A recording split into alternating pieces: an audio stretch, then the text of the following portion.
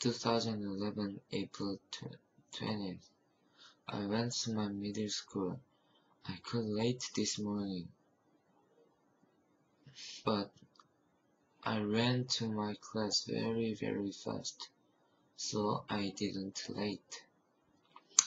We had we had only six classes today, so we finished our classes lessons so early, but our teacher didn't come because she has many things to do in teacher's room. So we waited about 15 minutes for teacher. So we finished very late and I cleaned my class and I after finish school I went to Math Academy.